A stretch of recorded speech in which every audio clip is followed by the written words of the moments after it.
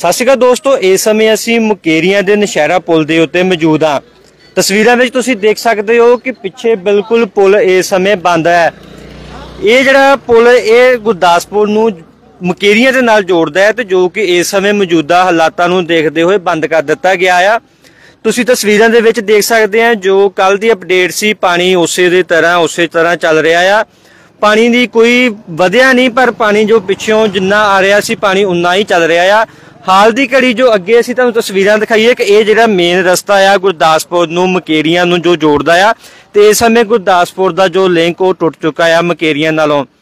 ਇੱਥੇ ਨਾਲ ਹੀ ਅਸੀਂ ਤੁਹਾਨੂੰ ਤਸਵੀਰਾਂ ਦੇ ਵਿੱਚ ਤੁਹਾਡੇ ਨਾਲ ਸਾਂਝੀਆਂ ਕਰੀਏ ਤੇ ਇਸ ਸਮੇਂ ਪੂਰਾ ਪੁਲ ਬੰਦ ਆ। ਮੁਲਾਜ਼ਮਾਂ ਨਾਲ ਗੱਲਬਾਤ ਵੀ ਕੀਤੀ ਸੀ। ਉਹਨਾਂ ਨੇ ਦੱਸਿਆ ਕਿ ਜਿਹੜਾ ਇਹ ਪੁਲ ਆ, ਇਹ ਕੱਲ ਸ਼ਾਮ ਦੇ 7 ਵਜੇ ਦਾ ਜਿਹੜਾ ਇਹ ਪੁਲ ਬੰਦ ਕੀਤਾ ਗਿਆ ਆ।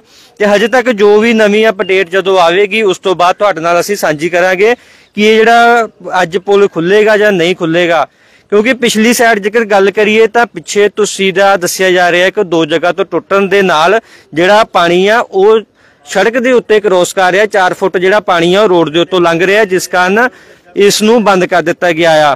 ਉੱਥੇ ਅਸੀਂ ਮੁਲਾਜ਼ਮਾਂ ਨਾਲ ਗੱਲਬਾਤ ਵੀ ਕਰਦੇ ਆ ਤੇ ਉਹਨਾਂ ਨੂੰ ਪੁੱਛਦੇ ਆ ਕਿ ਅਗਲੀ ਇਸ ਦੀ ਕੀ ਜਿਹੜੀ ਨਵੀਂ ਅਪਡੇਟ ਹੈ ਇਹ ਸਤਿ ਸ਼੍ਰੀ ਅਕਾਲ ਜੀ। ਸਤਿ ਸ਼੍ਰੀ ਅਕਾਲ ਜੀ। ਕੀ ਨਵੀਂ ਅਪਡੇਟ ਹੈ ਜੀ? ਪੁਲ ਕਦੋਂ ਤੋਂ ਬੰਦ ਕੀਤਾ ਗਿਆ ਜੀ ਪੁਲ ਕੱਲ ਤੋਂ ਬੰਦ ਕੀਤਾ ਹੈਗਾ ਜੀ। ਅੱਛਾ ਜੀ। ਸ਼ਾਮੀ 6 ਵਜੇ। ਉਸ ਤੋਂ ਬਾਅਦ ਪਾਣੀ ਵੱਧਦਾ ਵੱਧਦਾ ਗਿਆ। ਜੀ। ਵਧਣ ਤੋਂ ਬਾਅਦ ਉਸ ਤੋਂ ਬਾਅਦ ਅੱਜ ਚਲਾਈ ਬੰਦ ਕਰ ਦਿੱਤੀ ਰੋਡ ਤੇ।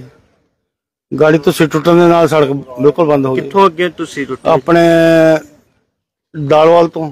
ਅੱਛਾ ਜੀ। ਉਤੋਂ ਪਰਿਓ ਤੁਸੀਂ ਟੁੱਟਣ ਤੋਂ ਬਾਅਦ ਦਾਲਵਾਲ ਸੜਕ ਪੂਰੀ ਬੰਦ ਹੈ ਹਲੇ। ਅੱਛਾ ਤੇ ਹੁਣ ਇਹ ਰਸਤਾ ਪੂਰਾ ਬੰਦ ਆਉਣ ਜਾਣ ਲਈ? ਹਾਂਜੀ ਬਿਲਕੁਲ ਆਉਣ ਚੱਲੇ ਬੰਦ ਹੈ। ਕੀ ਅੱਜ ਕਿ ਨਵੇਂ ਰਾਹ ਪਰ ਗੱਲ ਨਹੀਂ ਬਣ ਰਹੀ ਹਜੇ ਤੱਕ। ਜੀ। ਹੂੰ। ਤੇ ਇਹ ਹਜੇ ਤੱਕ ਬੰਦ ਹੀ ਰਹੇਗੀ? ਬੰਦ ਹੈ। ਮੈਸੇਜ ਕੀ ਦੇਣਾ ਚਾਹੁੰਦੇ ਹੋ? ਕਾਫੀ ਜਿਹੜੇ ਲੋਕ ਆ ਵੀ ਰਹੇ ਆ ਤੇ ਇਹਨਾਂ ਨੂੰ ਸੁਝਾਅ ਹੀ ਦੇ ਰਹੇ ਆ ਵੀ ਤੁਸੀਂ ਭਾਈ ਨਾ ਜਾਓ।